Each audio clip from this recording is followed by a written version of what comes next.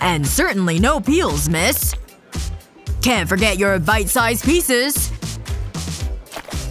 Here you go, Miss Julie. Mmm. Okay. I'll just peel my banana with the rest of the world. Yum. I'm stuffed. Oh, the bill? But I don't, uh… I'll pay for both of us, okay?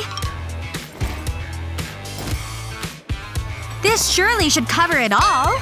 Hold this. Oh, how'd this get in here? Hold please. How deep is that thing? I swear I put this thing away. Here. Hold on. Here. Keep the change. I don't need it, shall we?